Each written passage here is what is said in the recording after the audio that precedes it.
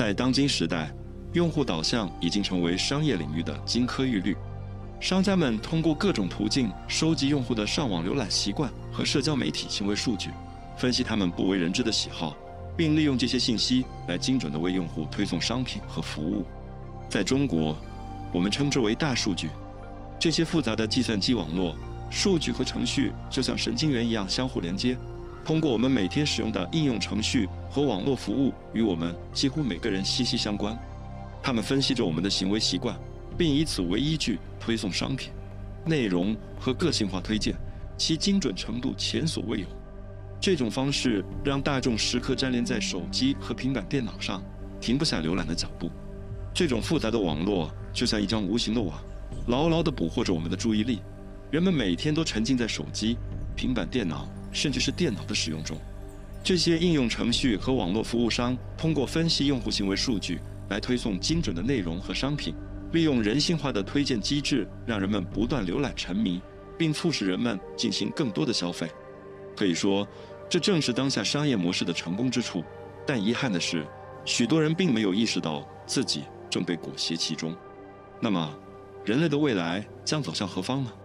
难道会像科幻作品中描述的那样，变成一个赛博朋克法乌托邦吗？随着科技的飞速发展，一些跳脱出思维禁锢的人们开始意识到潜在的危机。人类与科技的依存关系正日益紧密，技术浪潮裹挟着人类不断前进，人与科技的融合也日益加深，真实与虚拟的边界日益模糊。如果现实本身就是一种幻想，那么这种区分还有意义吗？让我们从当下一些能够模糊现实与虚拟界限的软件说起，例如深度造假技术。这项技术正变得越来越强大，能够制作几乎任何人的视频。让他们说出或做出一些他们本来不会说、不会做的事情。比如说，我们可以用深度造假技术制作一段视频，让美国总统特朗普说“我完全不赞成”，而这句话实际上并不是出自他本人。诚然，深度造假技术仍处于初期阶段，我们现在很容易辨别出这类伪造视频的真假，例如之前网络上特朗普的讲话视频。但是，随着这项技术不断发展，未来将越来越难以分辨深度造假和真实画面之间的区别。遗憾的是，这项技术正被用于一些非法用途，比如将名人的脸嫁接到色情影片中，损害他们的名誉。随着这项技术的发展，未来网络世界充斥着名人、政客等公众人物的虚假视频，他们可能在视频中说出一些与现实不符的言论。更令人担忧的是。随着技术的进步，真假视频将难辨真伪，甚至会出现真真假假，双方为证明自己才是真实版本而争论不休的局面。到那时，你如何证明你是你自己？而深度造假技术仅仅是科技阴谋论的冰山一角。随着我们不断迈向虚拟世界，与现实世界的联系也日益淡薄。当今世界，人们越来越担心既得利益者试图操控舆论。扭曲现实，阴谋论者认为，植入微芯片技术将是下一个控制人类的工具。诚然，我们现在使用的手机等移动设备都会收集和追踪我们的信息，但阴谋论者担心的是，微芯片植入人体后，能够大规模的监控甚至操纵人们的思想和情感，就像当下 Facebook 和 Google 等社交媒体平台正在做的那样。换句话说，既得利益者将不仅能监视我们的行为。还能监视我们的内心世界，无时无刻地读取我们的想法。阴谋论者更进一步认为，这种微芯片技术将结合人工智能，能够通过复杂的生理数据分析预测人们的未来行为，甚至影响我们的认知和决策过程。随着人工智能的不断发展，这一愿景似乎并不遥远。正如你所提到的，当下的算法已经在记录着我们的每一次搜索，并根据这些数据向我们推送信息。在一定程度上迎合了我们的喜好，也限制了我们接触其他资讯的渠道。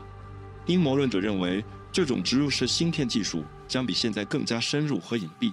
令人不安的是，人们可能会自愿接受这种植入，并不是所有人都愿意单纯为了让政府监控自己而接受这项技术。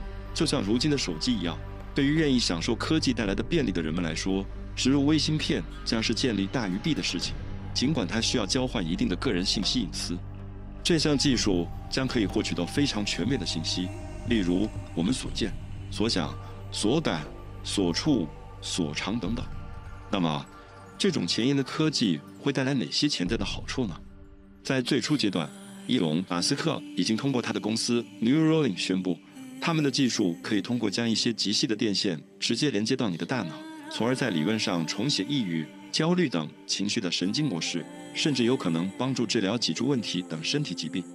如果我们放眼未来，看看这项技术的发展大局，我们会发现，随着创新的推动，这项技术似乎正在走向一个全新的领域，那就是实现一种类似于心灵感应的网络连接。想象一下，如果我们能够通过思维直接连接到互联网，那将会是多么令人振奋的前景！神经连接技术将彻底颠覆我们获取信息的方式。只需一个念头，海量的知识将如同潮水般涌入你的脑海。无需再花费大量时间查阅文献。更令人兴奋的是，这项技术可以让人们实现前所未有的交流方式。闭上眼睛，感受对方的想法，仿佛置身于对方的梦境之中，进行一场沉浸式的交流。当然，安全和隐私是首要考虑的问题。神经连接技术必须建立在严密的安全保障之上，确保人们在享受便利的同时，无需担心个人隐私泄露的风险。如此一来，人类的沟通将进入一个崭新的纪元。神经连接技术不仅能带来信息获取的革命，更会让我们的沟通交流达到前所未有的高度。想象一下，当你注视对方双眼时，不仅能理解他的话语，更能感受到他的感受。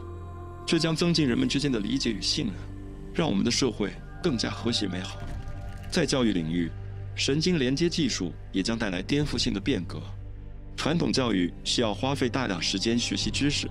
而神经连接技术可以让信息直接进入大脑，就像科幻电影《黑客帝国》中的主人公尼奥一样，瞬间掌握格斗技巧。可以预见，未来的人们将能够在极短的时间内学习掌握海量的知识，因材施教将变得更加高效。需要注意的是，神经连接技术并不是学习的捷径，批判性思维和独立思考能力仍然是必不可少的。诚然。神经连接技术可以让学习效率实现飞跃，就像电影《黑客帝国》中的尼奥一样。通过下载信息，人们能在短时间内掌握大量知识，成为某一领域的专家。但需要注意的是，神经连接技术并非单纯的知识下载器，它更像是信息高速公路，为你提供获取知识的便捷途径。真正的融会贯通，还需要学习者自身的理解、思考和练习。想象一下。一位拥有神经连接装置的艺术爱好者，可以轻松下载并理解各种艺术流派大师的创作理念和技巧，而仅凭下载的信息，他并不能创作出传世佳作。勤奋的练习和独创性思维才是成就艺术大师的关键。同样的，一位想要成为律师的人，可以通过神经连接技术快速掌握法律知识框架和法规条例，但是。法庭辩论和案件分析考验的是律师的逻辑思维和实战经验，因此，神经连接技术只能帮助人们加速学习，而非替代学习的过程。你可以直接将课程下载并安装到你的大脑中。理论上，你可以将六年的紧张大学学习压缩到一个周末，然后你就能拥有与那些用传统方式花费大量时间学习的人相同，甚至更高的知识水平。随着越来越多的人开始与科技融合，我们甚至可能会看到一种全新的现象——集体的蜂巢思维。在这种思维模式下，每个人的大脑都将成为集体意识的处理器，这种意识将在所有接受了这种融合的人之间共享。从一方面来看，这种现象非常像《星际迷航》中的博格人，他们通过集体意识连接形成一个整体；但从另一方面来看，这种现象似乎与许多古代的著作有着深刻的联系，比如赫尔墨斯文本等。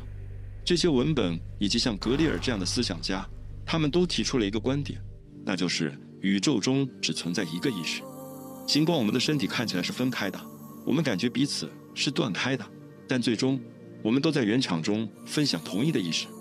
这种前沿技术的出现，无疑将对我们所有人的生活产生深远而翻天覆地的影响。生活将不再是我们熟悉的那个样子。随着我们在思想和身体上变得更加开放和相互连接，个人的界限和隐私感将逐渐消失。尽管这些想法听起来充满了吸引力，但阴谋论仍然存在。是谁编成了这个能够连接到我们思维的人工智能吗？就像今天的 Facebook 和 Google 一样，这种精神科技是否会瓦解我们的个性，使我们失去个性，变得更像机器人呢？当我们所有人都以这种方式相互连接时，现实的界限将进一步模糊。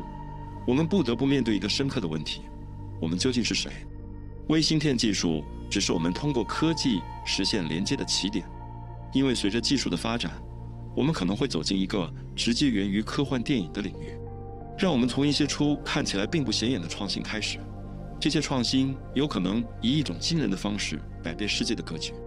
也许有一天，科学家和工程师们将研发出一种为盲人设计的人工眼睛的原型，通过一次简单的手术，就像创造了一个奇迹一样，那些一生都在黑暗中度过的人突然间就能看见光明。而这种技术的可能性并不止于此，这些人将能够看到正常眼睛无法看到的光波。他们的视力将拥有集成的变焦功能，就像拥有了一双双筒望远镜般的眼睛。他们甚至可以在自己的视野中直接看到增强现实的显示。这些人可以在任何地方，无需手机就能真正的看到满大街都是 Pokemon。当半人半机器的生物不仅能看见，而且视力比正常人的眼睛还要好时，甚至那些视力完好的人也会渴望得到这种升级。于是，一个新的。拥有升级视力的人类时代就此拉开了序幕。即使在更为微妙、侵入性更小的层面上，我们也有一些创新的想法。比如在新版的《美丽新世界》系列中，就描绘了一种数字隐形眼镜的设想。这种隐形眼镜可以连接到你眼睛后部的感受器，从而为你提供一种直接的精神和视觉链接，让你能够与社会中的其他人实现直接的心灵交流。这种情况也可能发生在假肢技术上。实际上，这已经在一定程度上成为现实，尽管这项技术还处于起步阶段。如果有人在一场可怕的事故中失去或损坏了他们的腿或手臂，他们有朝一日可以获得比任何正常身体部位更强大、更有能力的仿生肢体。这种仿生肢体可以赋予他们超人的力量或超人的速度。当然，这还需要在他们的生物体能够承受的范围内。当这项技术普及后，肯定会有人选择用仿生义肢替换断肢。这种技术在世界各国的军事超级士兵实验中可能尤其受欢迎。如果他们还没有在这样做的话，类似的想法也通过流行文化作品广为人知，例如动漫作品中的机械战警和《宝藏星球》中的主人公，以及动画作品《钢之炼金术师》中的爱德华·艾尔利克。现在。让我们将注意力暂时转移到虚拟现实领域，谈谈关于沉浸式体验的想法。我们甚至可以大胆想象，《头号玩家》中的绿洲 Oasis 即将成为现实。这是一个庞大的多人在线虚拟宇宙，玩家可以运用 VR 技术全身心投入其中。这也许会，也极有可能导致人们大量逃避现实生活，纷纷转而沉浸于数字世界。毕竟，当虚拟世界能让你置身浩瀚宇宙的任何角落，何必再去乏味的办公室？当你下班后可以和朋友们并肩作战，猎杀巨龙，又何必再去酒吧消磨时光呢？抛开你 iPad 上的赛车游戏，何不尝试一下真正身临其境的赛车体验呢？在家中舒适安全的环境里，通过 VR 技术，你可以享受身临其境般的沉浸感，却无需承受现实的危险。世界充满着苦难，但也拥有 VR 带来的无限可能。而有些人可能会过度沉迷于虚拟世界，甚至将大部分时间或全部时间都投入游戏中。试想，如果所有人都沉迷于游戏世界，现实世界将会怎样？就像小说《头号玩家》描绘的那样，人们在游戏中寻欢作乐，现实生活中却充斥着巨大的贫民窟，因为人们越来越少花时间去经营现实世界。为什么要修复漏洞百出的现实世界？当游戏世界可以完美无瑕？如梦似幻，一切都按照你的意愿精心打造，但这还不是终点。随着科技发展，虚拟与现实的边界逐渐模糊，让你分不清梦境与真实。甚至，未来或许有一天，人类的意识能直接上传到游戏中。这种概念在动画《刀剑神域》中就被生动展现。人们戴上名为“神经连接装置”的头盔，便能将意识投射到一个完整虚拟世界，在其中冒险。生活，想象一下，你的身体静静躺在现实世界，而你的意识却在游戏中驰骋翱翔，无需任何束缚。你可以在艾泽拉斯挥舞魔法，也可以化身像素小人，探索我的世界，甚至成为海拉尔的勇者。一切只取决于你的想象。这种匪夷所思的体验不仅出现在科幻小说中，也在热门剧集《黑镜》中有所展现。剧中，人们只需佩戴一枚轻薄的次世代 VR 头显，就像别在耳侧的纽扣一般，意识就能瞬间投射到虚拟世界，展开一段惊心动魄的冒险。进入这个虚拟世界，你将无所不能，翱翔天际，掌控魔法，踏上史诗般的冒险征途。甚至可以在如画的湖畔享受一个美妙的夏日垂钓时光。这里的一切由你掌控。既然如此，为什么还要花时间在充满限制的现实世界呢？想要拥有超人般强健的体魄，还是性感迷人的外貌？在这里，你可以随心所欲地定制你的虚拟形象。更不可思议的是，这种技术能直接连接你的大脑，模拟各种感官体验，让你仿佛喝醉了一样畅快。或是像嗑了药般产生奇妙幻觉，甚至可以重塑你的思维模式，让你变成任何你想要的样子。只要记得偶尔拔出设备进食，剩下的时间就可以尽情沉浸在这虚拟天堂之中。当然，上厕所这种问题也难不倒科学家们。随着科技的进步，他们一定会研发出会让你完全不用离开虚拟世界的新技术。不过，这也让人不禁好奇：如果意识和大脑长期沉浸在游戏中，不断被重塑，那么现实中的身体会发生怎样的变化呢？难道外貌也会受到影响吗？试想，当人类大规模出走虚拟世界，人类文明将会面临何等巨大的变革？作为人类的一份子，你又会选择留在逐渐消塌的现实，还是加入这场浩浩荡荡的虚拟狂欢呢？但并非所有人都沉醉于虚拟天堂。一部分人会对这种逃避现实的做法嗤之以鼻，选择坚守日益冷清的现实世界；另一部分人则可能因经济条件限制，根本无法负担高昂的脑部整合费用，从而与这场虚拟盛宴失之交臂。更令人担忧的是，随着脑部整合的普及，人工智能将积累海量有关人们对虚拟刺激的反应数据，这些数据能被别有用心者利用，巧妙地操控人们在现实中的认知。甚至在虚拟世界中为你量身打造无缝沉浸体验，让你欲罢不能，永远无法自拔。如此强大的技术也隐藏着令人不安的隐患，特别是将意识上传到游戏后，游戏创造者将可以时刻洞悉你的所有秘密、你的想法、情感、选择。掌握这些信息的人就能够随时随地在潜意识层面操控你。尽管如此，为了在游戏中呼风唤雨、翱翔天际。恐怕大多数人还是会跳过那冗长乏味的用户协议，通常为五十到一百页，毫不犹豫地点击同意。毕竟，绚丽的魔法和自由的飞行就在注册按钮的另一边。我想，现在几乎没有人会在点击同意之前看完那长长的用户协议吧。设想一下，随着人类科技的进步，我们或许能够将意识、思维、记忆全部转移到机械身躯之中，就像电影《复仇者联盟》中的奥创一样。拥有一个强健威猛的机器人躯体，但届时，人类的定义也将面临挑战。究竟何为人？对于一些渴望拥抱未来的弄潮来说，这无疑是令人兴奋的突破。